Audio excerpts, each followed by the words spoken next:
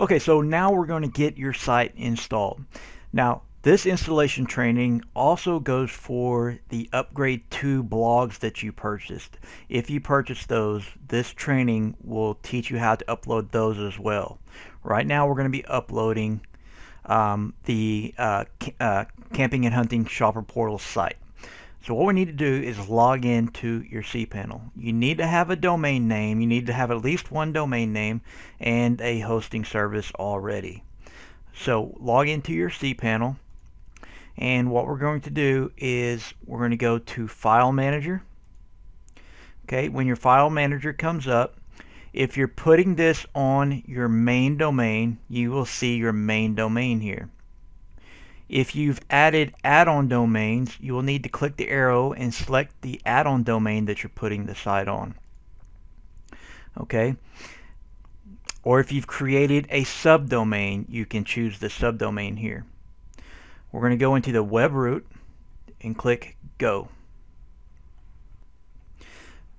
Now, if you are putting this on your main domain, you won't have anything here. You may have one file called the CGI bin. But other than that, if you're putting it on your main domain, you shouldn't have anything here, okay? If you're putting this on an add-on domain or a subdomain, you will see the folders for those. So you want to choose the folder that you're going to put the site on.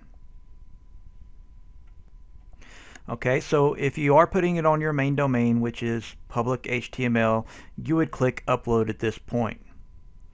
Now I've created a folder here and I've called it your domain. So we're just going to pretend like this is your domain here, okay? And we're going to go inside that folder and you're going to see I have some files here, but these won't be here um, whenever you upload. Okay, so your folder will be empty. At this point, we're going to go and click on Upload. Okay, now we're going to click on Browse and you're going to go into the folder either the commercial license or the personal site license. So if you purchase the commercial site license, that's the one you want to install. Okay, we're going to upload the zip file that starts with Camp Shopper Commercial. And then we're going to click Browse again and choose to in, uh, upload the installer. Okay? So once that's uploading we don't want to click off of this area here okay? We're going to go back over to our cPanel home and we're going to go create a database for this. So we're going to go to MySQL database wizard okay? And we're going to create a database name. So I'm going to call it camp 3 you can name this whatever you like. We're going to click next step and now we need to give it a username so I'm going to name it the same thing. Now we need to generate a password. Make sure that you take this password and put it on a notepad. Once you've put that on a notepad file check the box here and click use password. And now click create user.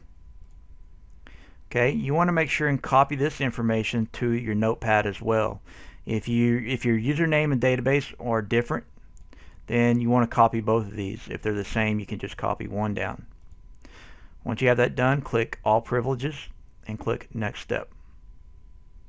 Okay, at this point, you're done with the database and you can click the Home icon. Now we're going to jump back over in our browser tab where we have our files uploading. So I'm going to pause the video and when this is done, I'll come back. Okay, so once the files are uploaded, you can see they've completed here. We're just simply going to click this link to go back. And now you should have the zip file and then the installer.php file. Now we're going to go ahead and open up a new tab in your browser. In the new browser tab, you're going to type in your domain uh, forward slash installer.php.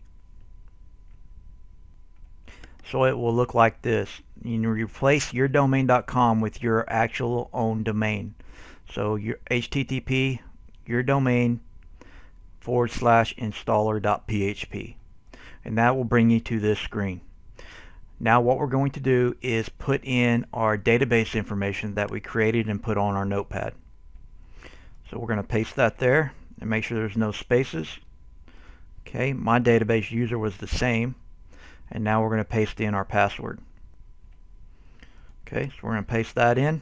And now we're going to click Test Connection. Okay, everything is good. You'll have success. And now we're going to scroll down and click or check the box and then click Run Deployment and then click OK. And wait for this to complete. Okay, it will go to this screen and we're going to click Run Update and let this finish. Okay, next you'll see this screen and what we're going to do here is click on Save Permalinks. It will open up in a new tab and now you will need to log in with the login details that I provide for you. Okay, so in your downloads, you're going to open up this notepad file that says Camping and Hunting Shopper Portal Login, User Login. You're going to open up that uh, notepad file. Okay, so you're going to use that information, those login details, and click Login.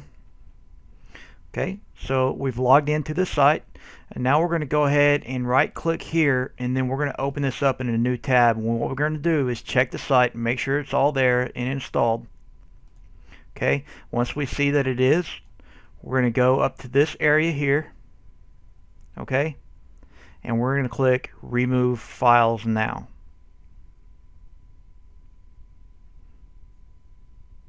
After you do this, your site's ready to go and start the uh, setup and that will be in the following videos.